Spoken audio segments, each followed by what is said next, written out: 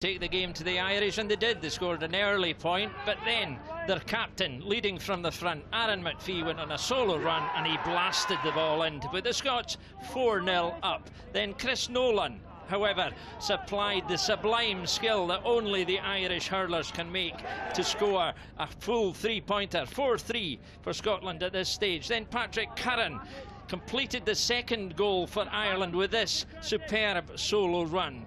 The Irish were looking good now and they had matched the Scots physically. They had withstood the early charge and that man Curran, he went in and he went all the way to put Ireland ahead by six to five.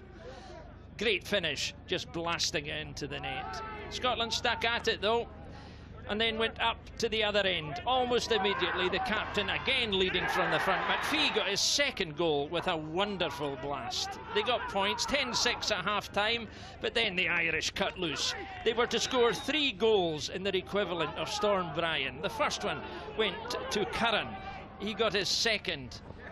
And then Carlos, Chris Nolan got the third goal an absolutely stunning finish from the Irish because by then they were home and dry and they knew it and they could finish with style. 17 to 10 at that stage. Some more points were traded and it finished 19 points to 13 for Ireland, who got five goals, and the cup was taken home by their captain, Sean Finn from Limerick.